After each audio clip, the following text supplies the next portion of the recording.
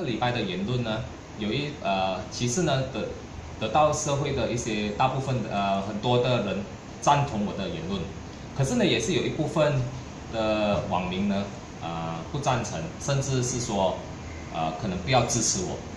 但是呢，对我本身来讲呢，我从政有中从政的理念，有从政的原则。我的原则就是要为这个社会不对的、不公义的事情，或者是不对的事情发生啊，提出我的呃这个警戒，警戒社会。呃，孔子说：“先天下之忧而忧。”我没有像孔子这样伟大，但是呢，我觉得在人民选我出来做出改革，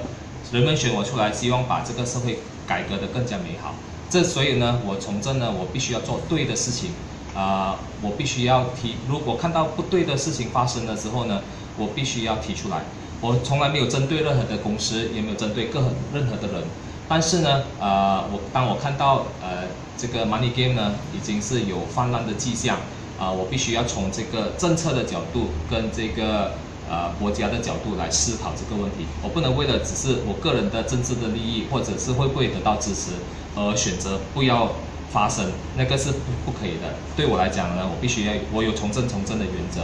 然后我必须要呃做出社会的改革啊，然后呢为社会不公义的事情啊发生。